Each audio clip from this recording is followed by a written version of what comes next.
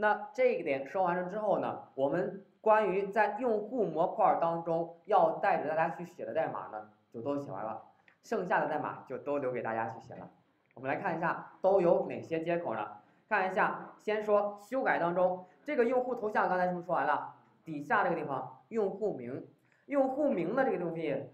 好写不？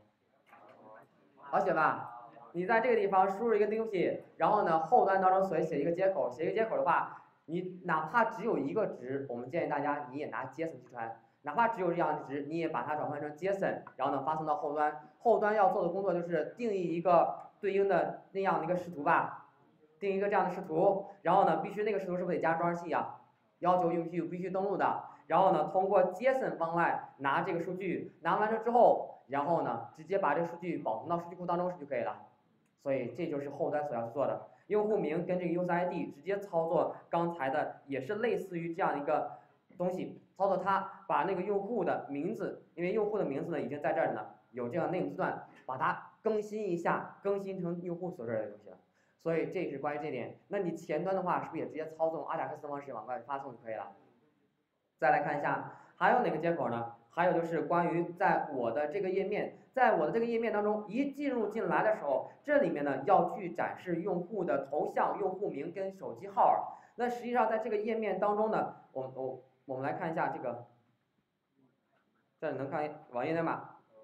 我们看一下这网页源代码，页网页源代码当中。这里面呢，我们已经给你留出来了，就相当于这里面有个 image，对应的应该展示用户的头像，然后呢，在这个地方展示用户名，在这个地方展示用户的手机号，所以应该是在页面一加载的时候，你向后端去请求吧，所以后端要写一个接口，那个接口呢，就是根据你登录验证器之后，根据这个登录装置器拿到这个 user ID。然后直接去数据库当中，把根据 ID 查询一下，把所有数据拿过来之后，转换成 JSON 往前端一反就可以了吧？然后呢，前端再拿根据拿到的数据呢，直接通过 jQuery 的方式给你设置到这个字段就可以了。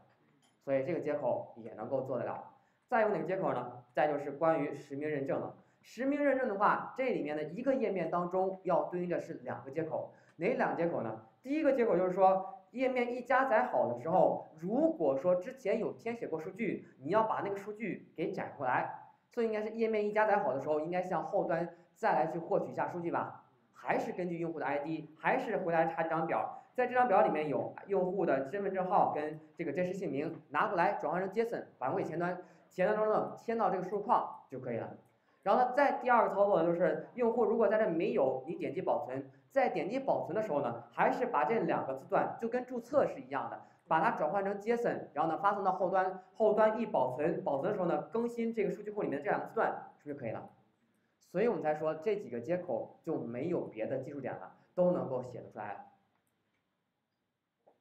所以这几个接口呢，我们就是留给大家去写。